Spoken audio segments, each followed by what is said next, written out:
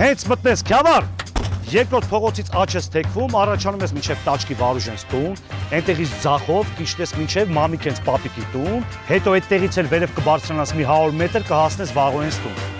Կզանգես, Վաղոն քեզ կդիմավորի։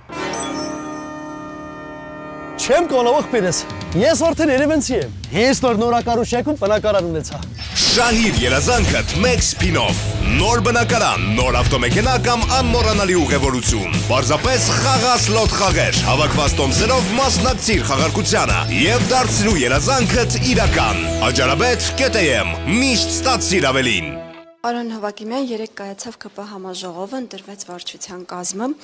Շատերը սպասում սպասում էին, որ վարչության կազմում կլինի նաև Սասուն Միքայելյանը, բայց նա չկարողացավ հավաքել բավարար քանակությամբ ձայներ։ Ինչպես կբացատրեք նրա չընտրվելու փաստը։ Այսինքն դուք նկատում եք կներեք էլի շատ ներողություն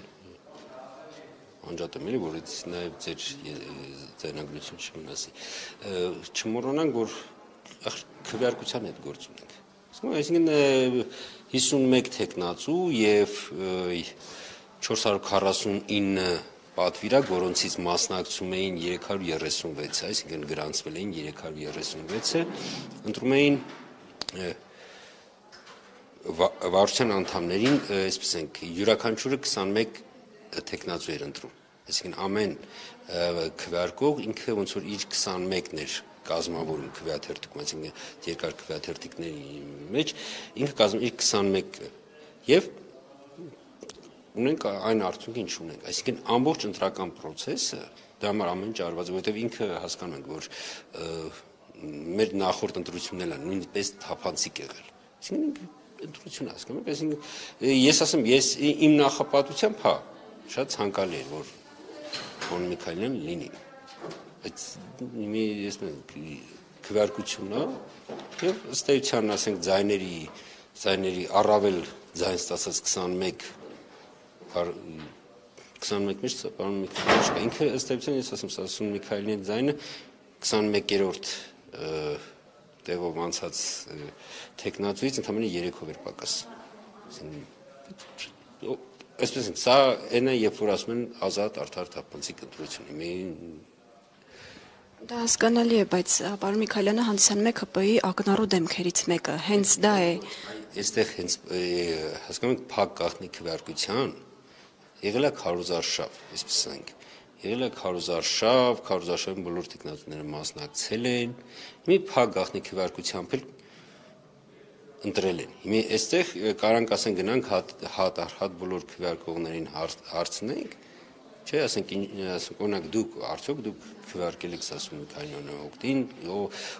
ինչու՞ չեք քվեարկել եւ այլ, բայց դա դրանից բան չի փոխում, այսինքն նկատում եմ, որ ընտրական process-ը դա հենց այդ է, երբ որ փակ գաղտնի քվեարկությունը, մարդիկ ինչ, չգիտեմ, իրենք կատարել են իրենց ընտրությունը, ունենք այն արդյունքը, որ ունենք։ Այսինքն հենց այս ընտրությունների ամբողջ իմաստը սա է, որ պատվիրակները իրենք որոշեն, հասկանում եք, ոչ թե ասենց բան է, ասենց ղեկավար կազմը ինքը որոշի թե ինքը ինչպեսին պիտի լինի եւ այլ եւ այլ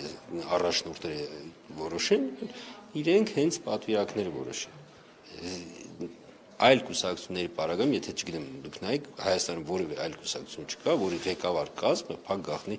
եւ արկանշային քվեարկությամբ ընդդրվի։ Սովորաբար բաց, բաց քվեարկությամբ եւ ըստ էության առաջնորդի, այսպես ասենք, առաջադրմամբ, այսինքն ոնց որ մանով ընտրվել են։ Քաղաքացիական պայմանագրի կանոնադրությամբ այդպես չի։ Եվ առաջին վարչությունը, երկրորդ վարչությունը եւ արդեն երրորդ վարչությունը ընտրվել են փակ գախնի վարկանիշային քվեարկությամբ ու սա է հենց որ ոչ ոք չգիտի այսպես եմ քանի արդյունքները չեն ամփոփում այդ վերջնական արդյունքը չի գալիս ոչ ոք չգիտի ինքը ասենք տեխնացուներն նկատում ինքը կլինի վարչությունում թե չի լինի